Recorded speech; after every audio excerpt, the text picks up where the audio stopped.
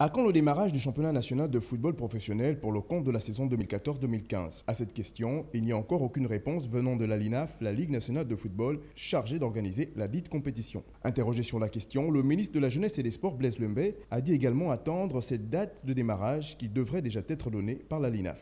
Ben, vous savez, euh, nous avons, dans le cadre de l'indépendance, constitué la LINAF pour organiser le championnat professionnel.